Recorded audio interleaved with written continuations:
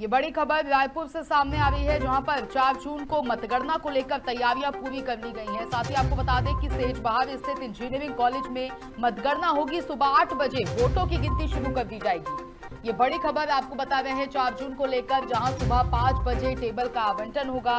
उसके बाद हर विधानसभा के लिए चौदह चौदह टेबल लगाई जाएँगी। ये बड़ी खबर सामने आ रही है, जहाँ चार जून को मतगणना को लेकर सभी तैयारियाँ पूरी कर ली गई हैं। साथ ही आपको बता दें कि रिज़र्व स्टाफ भी नियुक्त किए जाएँगे। ये बड़ी खबर इस वक्त की रायपुर से सामने आ रही है।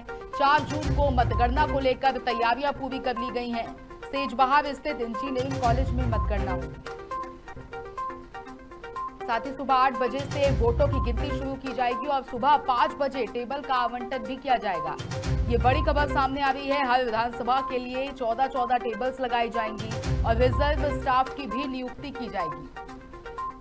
चार जून को लोकसभा चुनाव के लिए मतगणना शुरू हो जाएगी और इसको लेकर अगर बात रायपुर की की जाए तो सभी तैयारियाँ पूरी कर ली गई हैं। हर विधानसभा के लिए चौदह चौदह टेबल्स भी लगाई जाएँगी। साथ ही आपको बता दें कि रिज़र्व स्टाफ भी नियुक्त किए जाएँगे। ये बड़ी खबर इस वक्त की सामने आ रही है। इसको लेकर सभी तैयारियाँ लगातार की जा रही है। बता दें कि सेज बहार स्थित इंजीनियरिंग कॉलेज में मतगणना होगी।